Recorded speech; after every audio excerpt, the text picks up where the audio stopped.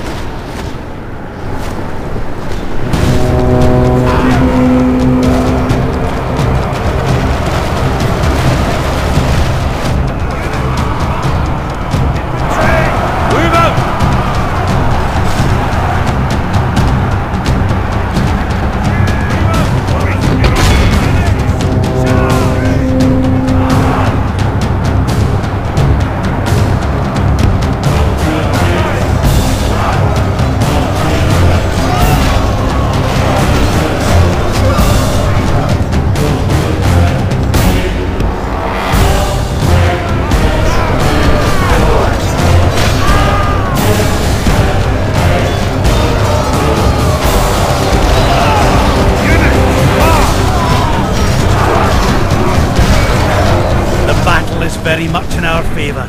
If we remain true and steadfast, victory will be ours.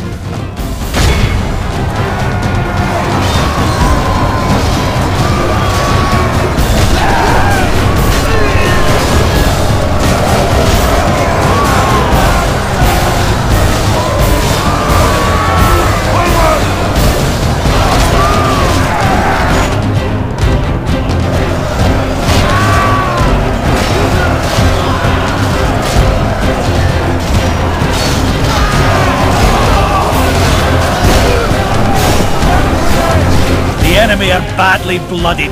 The enemy army flees the field. After them, cut the cowards down. This is a clear victory that goes to only men of great virtue and valor.